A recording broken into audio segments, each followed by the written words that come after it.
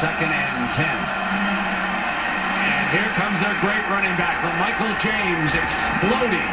He's closing in on the Pac-10 all-time freshman rushing record. Brent, look how physical he is here. He runs right through the linebacker's arms, and that's what you have to respect about Masoli. Wildcats expecting to pass, and they're going to get it. Snapped off for a first down. Masoli came to Ed Dickson, who is his preferred target. Uh, Jeremiah Masoli showing people, the doubters, about his ability to throw the ball. It's a simple read for him. It's right in front of him, and he gets it to his favorite target, Ed Dickson. Good job on that offensive line on third down and long, and giving Masoli enough time to be able to find that open area and eventually get the ball into the hands of Ed Dickson. Big conversion there for the Ducks. Play action. And inside the five-yard line, Jeff Maehl. Again, showing here on first and 10, trying to get the defense to uh, come up and respect the running game, and that's exactly what they did. Masoli trying to change it up. He keeps it himself. Cuts back against the grain. Touchdown. But because they over pursued it, it allowed Masoli to come back. But this is one of the few offenses in the country that will actually read a defensive tackle or nose guard as opposed to just reading the defensive end. And here it is third down and 12 now for Arizona. Foles. Now he's forced, he's going to be sacked. Brought down by Eddie Pleasant from behind. Number 11 rolling in on him. Well, Eddie Pleasant had a big night tonight. We called the USC game. He's going to come on a delayed blitz, and he never gives up on it. Fights through Adam Grant, who picked him up initially. Great coverage downfield, and with the speed that Pleasant had coming from the backside, he's easily uh, allowed to be able to take down Nick Foles. Masoli off the fake going deep. Perfect strike that Butter running the football. James patiently waited. And he is across the 20-yard line. A two and eight isn't just a big game. It sets everything else up within this offense. Now you get back to getting James the football. The offensive lineman having to the edge. Second and 13. And again throws a incomplete. The line judge had it incomplete. Down. Well, I'm sure they'll take another look at this one. Let's see if he catches the ball as his left foot touches. And the left foot looks like it's down as he goes breaks. It was determined that the receiver caught the ball with a foot inbounds. Yeah. First and goal at the five-yard line. Third and goal.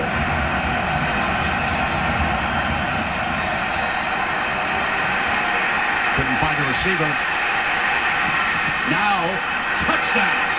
Jeff Maehl spots Jeff, and they hook up at the end of this play. And he did not give up on this play. He makes a little pirouette here, gets to the outside. Now look at Maehl sitting right there at the fi- about the two-yard line.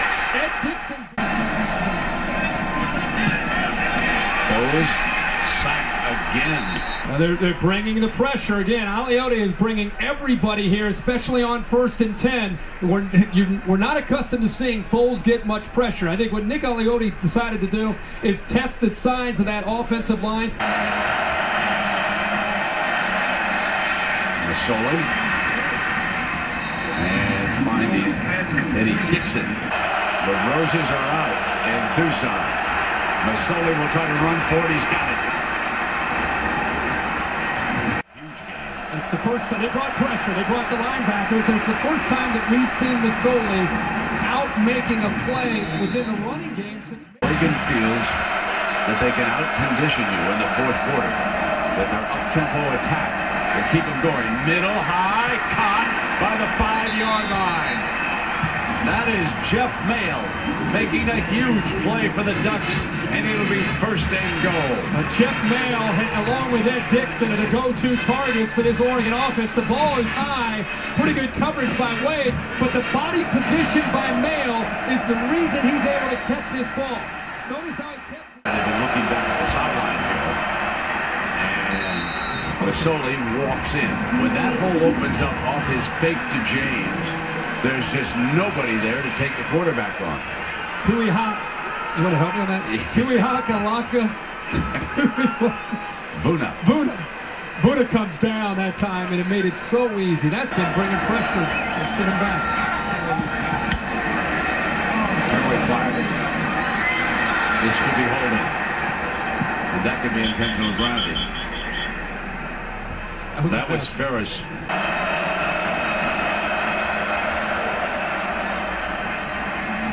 On a cutback hole. There's 14 more yards. He's starting to pick it up here, Herbie. Yeah, it looks like they may go up tempo here, but there's the vision of LaMichael James. He's in complete, he's in 100% speed mode, and he took. This for the tie. Morgan Flint with a 43-yarder.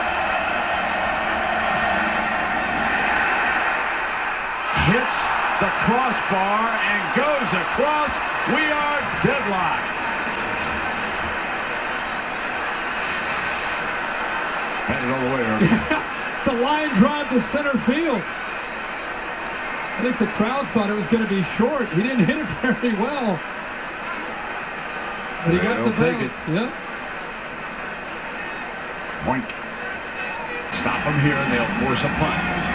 They do not want to give a big gain on this play. Strikes deep.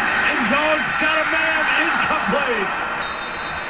Intercepted. Wow. Wow. Just talked about maybe being too conservative, and on third down and long, they take a shot. And you know, Turner actually got his hands on the ball, but because of he, he tipped the ball, Jackson never gives up on the play coming from the backside, makes the interception, and definitely controls that football. 311 from Masoli. And right away, he attacks for nine yards to open up this series with the sure-handed Jeff Maehl. The Flexed out to the top as a tight end. Got the first down and out of bounds. 06 for the game. Third and 11 for Masoli. Gonna try to run forward Davis. He's got a chance. He's got the first down. A gutsy third down running play.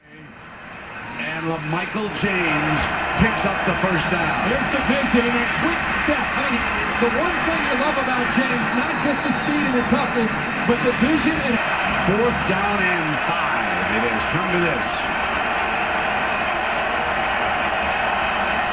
Here's Masoli. Fires got the first down.